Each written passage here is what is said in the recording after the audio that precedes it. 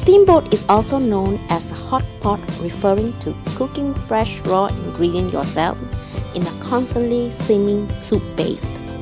This is a popular style of dining experience in the Southeast Asia. I remember the day when I first ate steamboat. I was around 7 to 8 years old then. It was a family treat by my ex-neighbor who won the lotteries.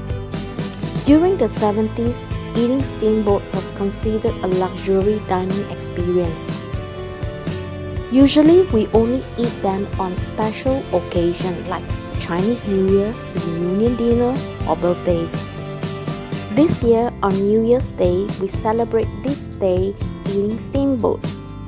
Today I will show you how easy it is to prepare a steamboat meal.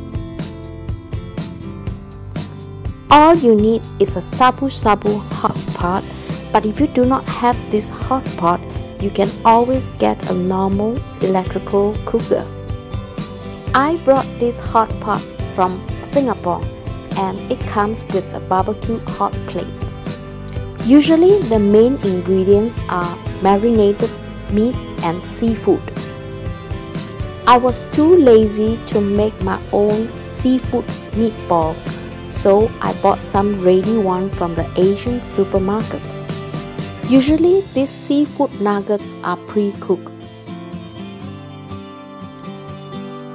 I also make some beef meatballs with black pepper, sesame oil and some salt and pepper.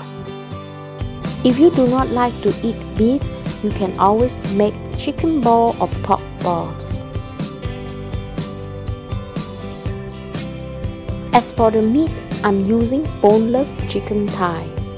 To marinate the meat, I use some five spice, salt and pepper, and also some sesame seed. Now, here is how I prepare the squid. First, I cut them into pieces and then I score them diagonally. To me, I find that this squid is eaten best barbecued on a hot plate. Make sure you do not cut them in too small pieces. To marinate the squid, I'm using sesame oil, sugar and some salt and pepper. You also need some vegetables. The second most important ingredient in this dish is the broth. These broth are made from chicken bones. I made two dipping sauce using hoisin plus sesame seed and some chili paste. With a little creativity, you can add almost anything to this dish.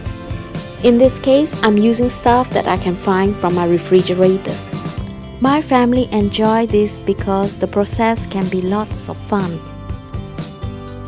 Steamboat is a fantastic meal to have with a small group of people. Cooking and eating together from the same pot feel both primitive and connecting. This is a perfect dish for cold winter. I hope you enjoy this video. If you do, feel free to share them with your friends and family.